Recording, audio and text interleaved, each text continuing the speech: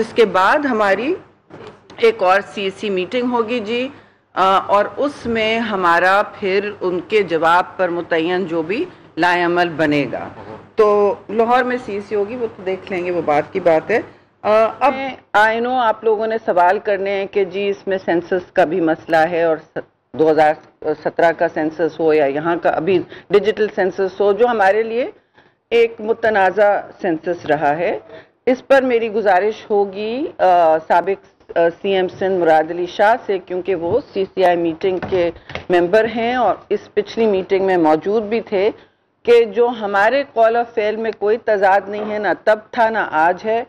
वो भी उसकी थोड़ी डिटेल अगर आप सवाल पूछें तो देंगे, यानी कि हमारा कोई मौकफ में तब्दीली नहीं आई है। जो हमें वहाँ कहा गया था, वो यही था कि देखिए, इसकी वजह से कोई डिले नहीं होगी।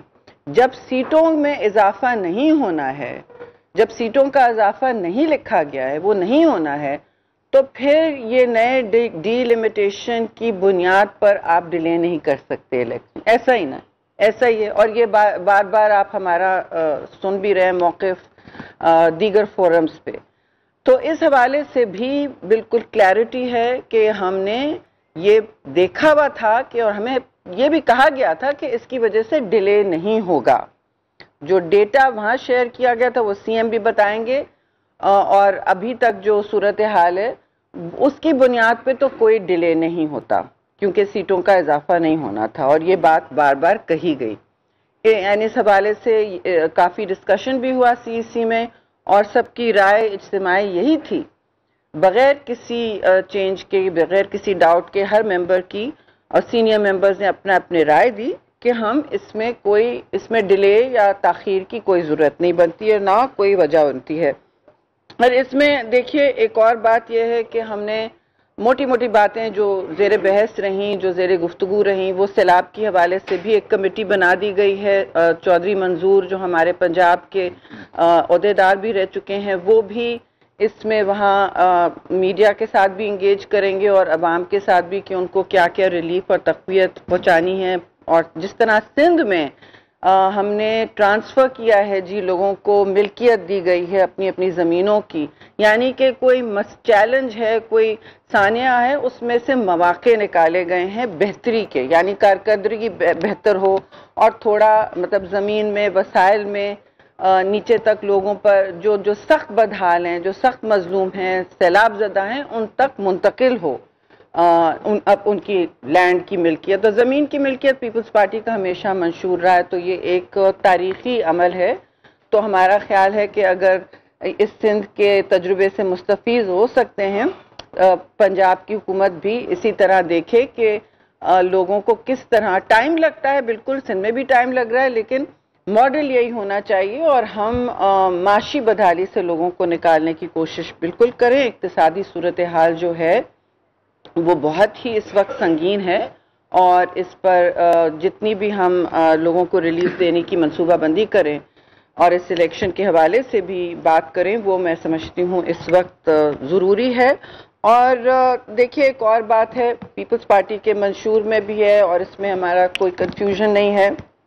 हर मजलूम, हर तबके, हर मसलिक, हर मज़हब की जगह है। चाहे वो औरतों के हकूक़ हों, चाहे वो अकलीतों के हकूक़ हों, हम उनको अकलीत नहीं समझते। अगर गैर मुस्लिम है तो इसका मतलब नहीं है कि उनकी बराबर की शहरीत के हकूक़ नहीं हैं। इस हवाले से आपने देखा, जड़ावाला में भी हमने मुस्तकिल ना सिर्फ़ पंजाब के वफूद गए हैं, लेकिन वफाकी हाई लेवल वफूद गए। मैं खुद गई थी, मेरे साथ, मेरे दोनों अतराफ़ पे जो ऑफ़िस बेरर्स हैं, वो भी साथ गए थे।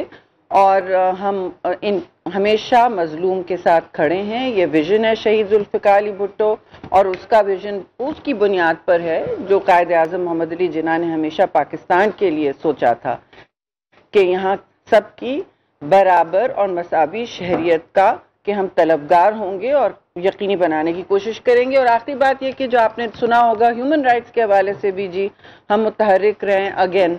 इसमें इस्लामाबाद से लेके कश्मीर से लेके कराची तक आपने देखे हैं बड़े बड़े केसेस आए हैं मजालिम के बच्चियों के साथ और लड़कियों के साथ ख़ास तौर से मुलाजमीन के साथ जो जो हुआ है, उनके लिए चाहे पार्लियामान हो या पार्लियामान के बाहर हो, चाहे सिंध में एक्शन लेना हो, सबसे सवे अव्वल में पीपल्स पार्टी रही है। चाहे जो भी हो, इंसाफ के सामने हम समझते हैं कि इंसाफ के, सबके लिए बराबर होना चाहिए, उसमें जो भी हमने करना है वो हमने करना है और वो किया गया है। नहीं, आज सवाल आपके बहुत हैं और मैंने बहुत सही तौर पे बात की है। इसमें से मैं चाहूँगी कि इसमें ज़ाहिर जहाँ तक सेंसस की भी बात है, अगर सीएम कुछ हमें शेयर करना चाहें, अगर सवाल कर लें, जी ठीक है। एक मिनट, एक मैनेज करें। एक एक एक फाइनल पॉइंट जी है इंटरम गवर्नमेंट जो है, इस वक्त केयर टेकर गवर्नमेंट है। वो एक किसी ने कहा कि चेयर टेकर गवर्नमेंट ना बन जाए। ठीक है जी, ऐसा ना हो और जो कमेटियाँ बना रहे हैं सीसीएलसी पहले भी होती थी, लेकिन ऐसा नहीं होता है कि केयरटेकर गवर्नमेंट कवानीन जो हैं, उनमें चेंज ला सके। आईनी, उसमें कहा गया कि वो आइन को रिव्यू करेगी। ये सवाबदीद नहीं होती। With great respect with due respect ये सवाबदीद नहीं होती किसी केयर टेकर की। तो हम उसमें काफ़ी वजात से कमेटी सबके सामने है। आपको पता है उसमें कौन कौन है? पाँच मेम्बरान की कमेटी बनी है स्पेशल इन्विटी भी लोग हैं उसमें।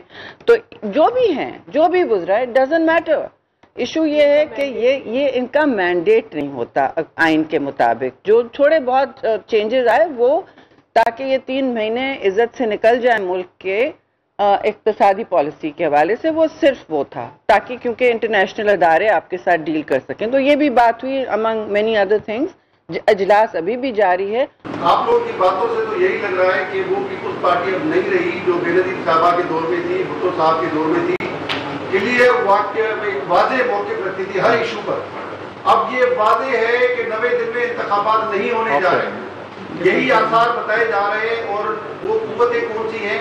उनका नाम लेने से आप क्यों डरते हैं जो इंतबात नहीं करानी अरे हमने थोड़ा कराना है। हमने और अगर इंतबात लगे जिनमें नहीं सॉरी माफ़ कीजिए। आपकी आपकी जारहाना जारहाना जारहाना सवाल और तकरीर से मैं आ, मैं नहीं आ, आपको इसी तरह जवाब दूँगी। सा, सा, नहीं दैट्स इनफ जी। दैट सीधी बात ही हम करें there no need to be objectionable बात सिंपल सी है जी। इलेक्शन हमने नहीं कराने होते। हम वाहिद जमात हैं इस वक्त जो बैठे हैं जो पहले दिन से कह रहे हैं कि नब्बे दिन में होने जिसने कोई मौकफ तब्दील नहीं किया जिस इशू पे भी बात हुई है अभी। सारे लीडरशिप हमारी यहाँ बैठी है। जिस इशू पे भी हमने